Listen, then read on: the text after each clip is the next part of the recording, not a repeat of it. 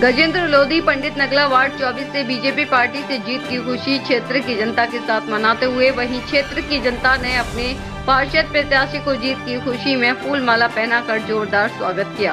वहीं एक दूसरे के साथ गले मिलते हुए व मिठाई खिलाते हुए नज़र आ रहे थे। वहीं पार्षद प्रत्याशी गजेंद्र लोधी ने अपने क्षेत्र, पंडित नगला और सभी वोटरों का धन्यवाद किया। वहीं यह विश्वास भी दिलाया कि जिस उम्मीद से मुझे मेरे क्षेत्र की जनता ने वोट दिया है, उनकी उम्मीदों पर खरा उतरूँगा।